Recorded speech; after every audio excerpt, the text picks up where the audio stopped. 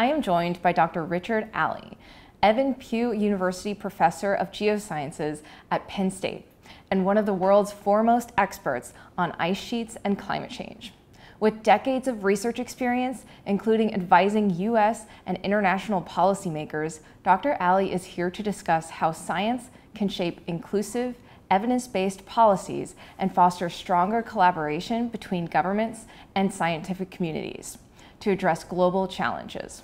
Thank you so much for being here, Dr. Alley. Oh, it's a pleasure, Rachel. Thank you for what you're doing here. Of course.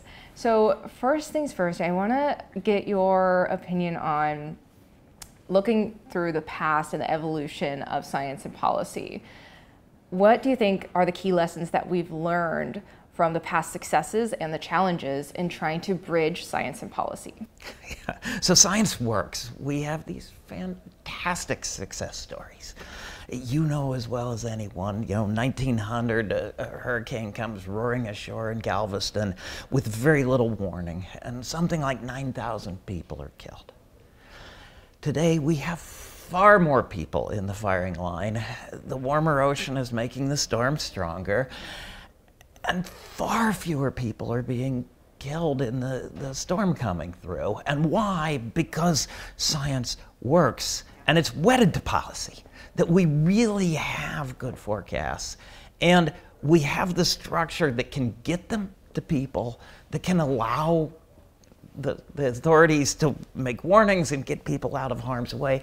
It works. So I'm curious now, looking to the future, where do you see the evolution of the relationship between science and policy over the next decade? Where do you see it going? I hope it just gets better and better. I think we have a task, which is that what we've just been saying here has been obvious to us that the forecasts really do save lives. But I'm not sure that for all of these issues that we have documented that in a way that is readily accessible to the policymakers and the general public.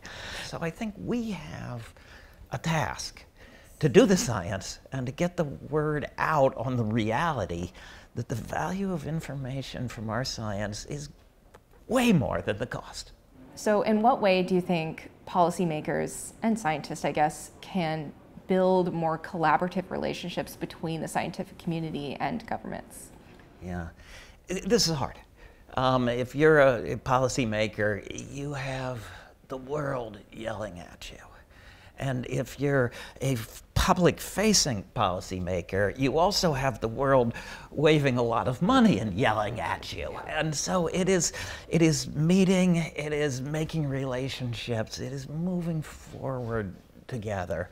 And I think a lot of that, AGU, National Academies, um, let's get more of our members the ability to talk to the policymakers off the record. Let's just sit down and have a talk. And anyone wants to call, you call up AGU, you call up the National Academies, you call up AAAS. They'll get somebody who's from your district, who knows your topic, who'll get in there and have a chat with you.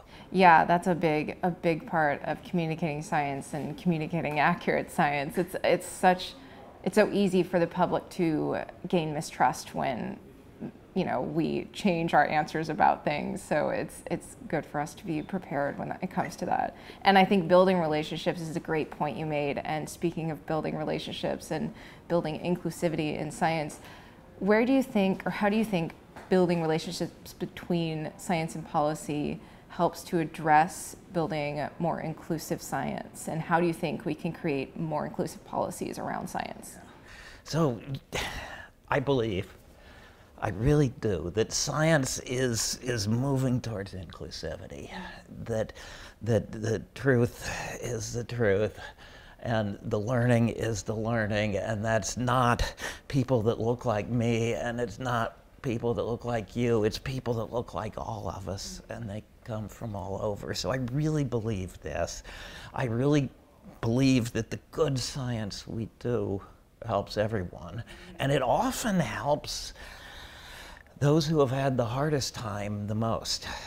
I also think in the modern world, people are getting information from so many places that we cannot do our job unless we have such a range of voices that we can reach everyone um, at their first stop, not their last one. And I can't expect a whole lot of people to go find me to get their information. There, we, we have to have have to communicators, scientists who look like the whole population. And it, we are failures if we don't. I think that's a wonderful message, especially key message to end on. So thank you so much for coming and sharing all this. Well, thank you for what you're doing.